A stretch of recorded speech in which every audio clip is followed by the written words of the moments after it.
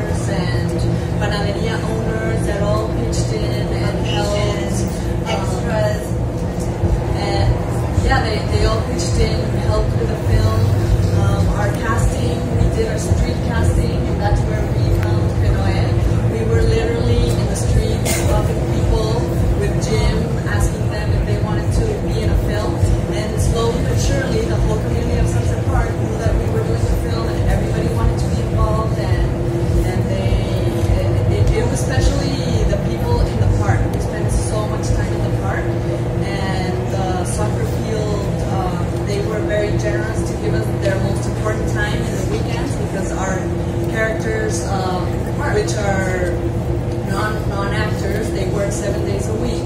So we had to film in the weekends, and, and, and we were able to, to use the time in their summer. Yeah. Uh, do you want to say anything about Trump and the wall and his policies?